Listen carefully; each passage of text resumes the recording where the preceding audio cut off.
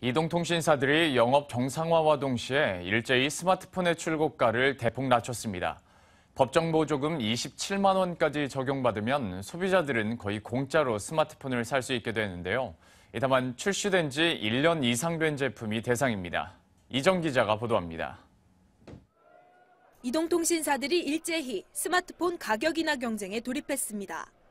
두 달여간 영업 정지로 손발이 묶였던 이 통사들이 그간의 부진했던 실적을 만회하기 위한 카드로 스마트폰 가격을 최대 35만 원 폭으로 인하한 겁니다. 대다수 휴대폰 가격이 20만 원에서 30만 원대로 낮아진 데다 최대 27만 원인 보조금까지 적용받으면 거의 공짜로 휴대폰을 살 수 있습니다. 3사 공통 모델인 출고가 89만 원짜리 삼성전자 갤럭시 S4는 28만 원까지 낮아졌고 LG전자의 옵티머스 G 프로도 20만 원에 구매할 수 있습니다.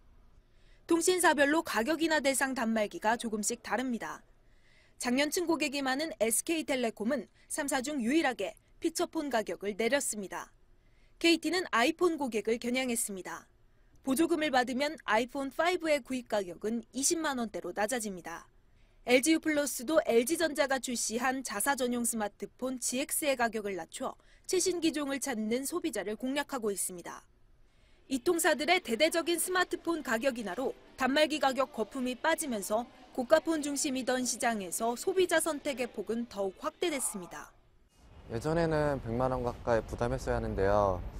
요즘은 선택폭이 넓어져서 좋아진 것 같고 또 성능도 비슷비슷하고 뭐 저는 뭐 트렌드에 민감한 편도 아니어가지고요.